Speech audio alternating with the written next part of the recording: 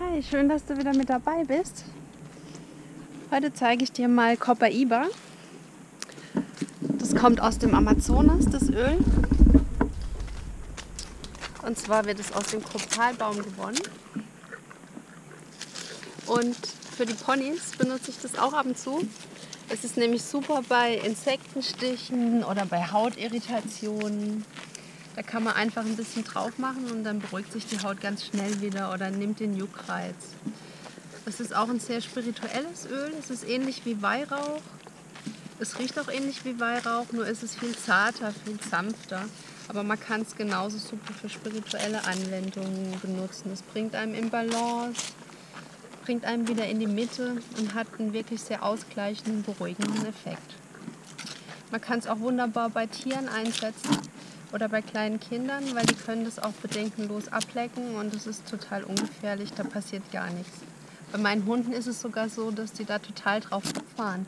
Wenn ich da einen Tropfen in die Hand mache, dem letzten hat mein Kleiner, der Orfi, eine Ohrenentzündung gehabt.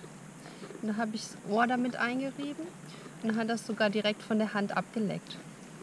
Also der fand das ganz klasse. Und man hat ja dann immer ein gutes Gefühl, auch wenn man weiß, da passiert nichts. Auch bei den Ponys, wenn die jetzt einen Stich oder eine Schramme haben, dann verteile ich das in Händen und fahre dann einfach drüber und das beruhigt die Haut, nimmt den Juckreiz.